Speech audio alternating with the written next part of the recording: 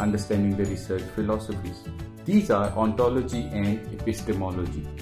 Let me explain all these concepts one by one, but before that, we should understand ontology and epistemology shape your research philosophy. So the research philosophy is mainly dependent on these two components.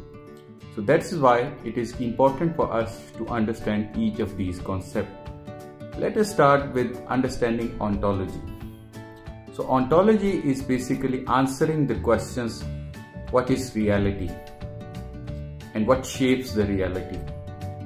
It tells you about the knowledge and what is happening there.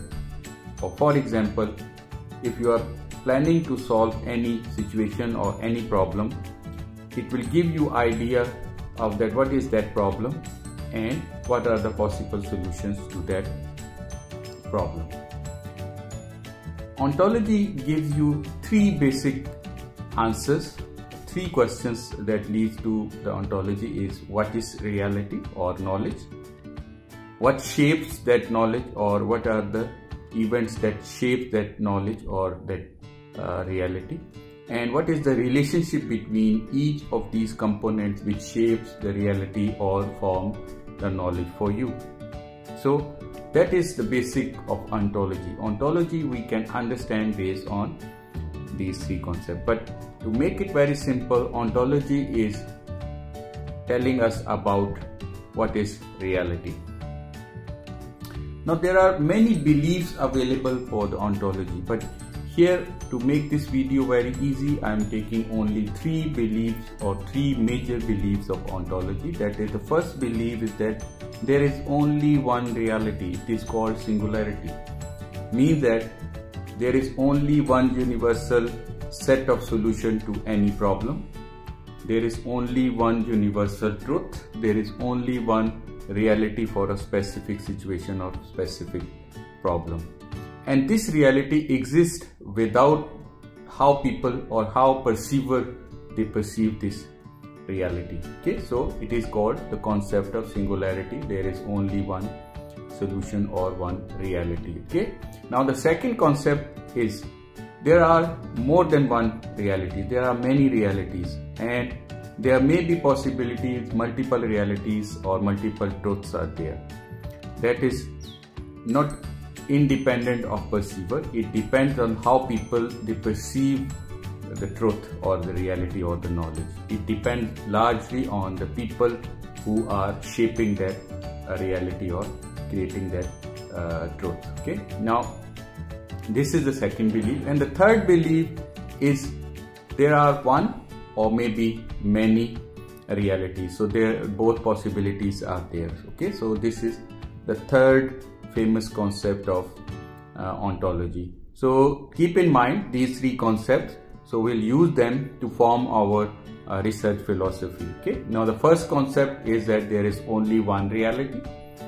The second concept is the, the realities are more than one. There is more than one realities and it is not independent of perceiver. And finally, there is a belief that there is a one or maybe many realities exist okay now this is ontological belief.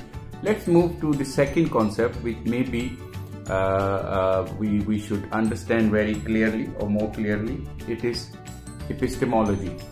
Now epistemology tells you about how we receive knowledge. How we how do we know about truth? How do we know about reality? It means that it tells us how we receive or how we collect knowledge. Okay so this is epistemology. Uh, similarly like ontology there are a lot of beliefs or ontological uh, beliefs are available in the uh, research or in the philosophy. But here in this video to make it very simple i'm just taking only three beliefs of uh, the only three famous beliefs of epistemology. The first belief is that the knowledge can be measured and it can be measured using any reliable tools and techniques. So there is a measurability in the uh, truth or in the knowledge. That is the first uh, belief. There is another belief that knowledge can be interpreted. It is not measurable, so you have to interpret it. Uh, that is the second belief of epistemology. So we can uh, receive knowledge or we can collect knowledge by interpreting any situation or any uh, truth or any uh, reality. Okay. Now the third belief is that the truth can be measurable or knowledge can be measurable or at the same time it can be explained or it can be interpreted. So this is the third belief or epistemological stance we are studying in this video. Okay. Now let's see how these concepts they shape your research philosophy or the approach you are using in your thesis or in your final year project or in your any research you are planning to perform. Okay, now for example in this equation you can see ontological beliefs and epistemological beliefs they shape your research philosophy. Here I am taking the first belief that the belief ontological belief is that there is only one reality and it can be measurable. So if we are using these two concepts, the philosophical approach we are going to see would be the positivism. So we are using positivism and the positivism believes that there is one solution to a particular problem and it can be measurable. The knowledge is one, the reality is one, the truth is one and it is measurable uh, with the help of tools and techniques we can apply. So it depends on more quantitatively Uh, uh, measuring the different beliefs and knowledge. So knowledge is measurable. There is only one reality available and we can measure it using reliable tools and techniques. So this is positivism.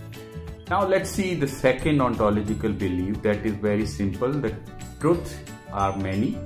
The realities are not only one, they are many and it can be interpreted. It is not measurable but rather than measuring them, we can interpret them and or explain them. So the interpretation and measurability uh, with the help of uh, this uh, epistemological approach and the ontological approach is that there are multiple realities. We see this is constructivism.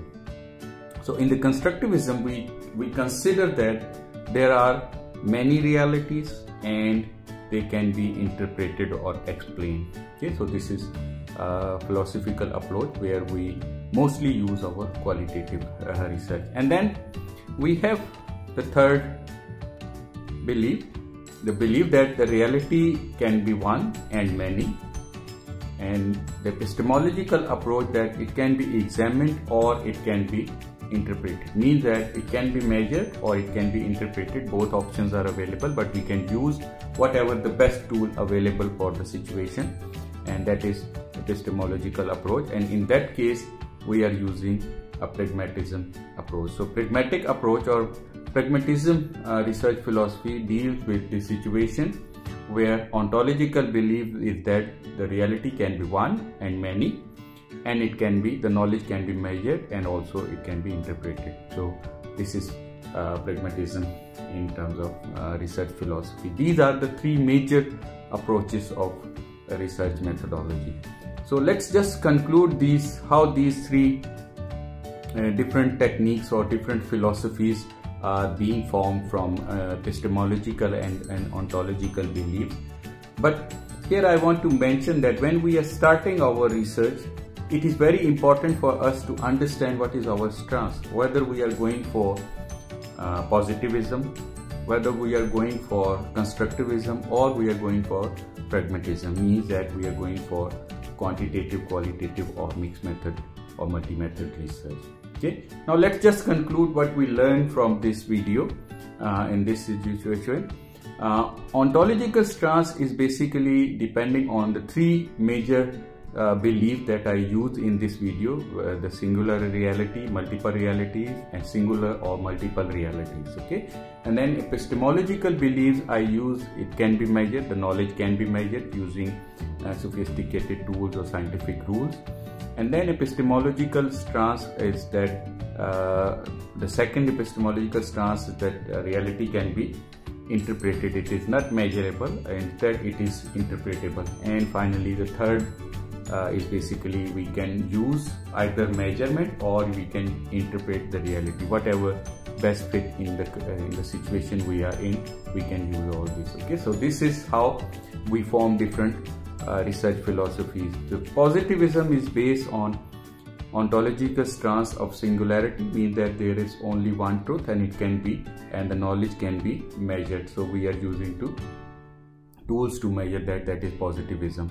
And in second we uh, we conclude the constructivism as an approach where we believe that there are multiple realities and the truth or the knowledge needs to be interpreted and finally uh, we have pragmatism. Which believes that uh, ontological approach is why whether reality is singular or it can be multiple and we can use any available tool to measure it or we can interpret it. That is called pragmatism. So i hope so you understand these concepts. Uh, what you need to do is in the uh, comment box you have to uh, mention that what is your approach in your research finally a project thesis or in your research article i hope so this video will be useful for you to understand the research philosophies Thank you very much and have a very nice day.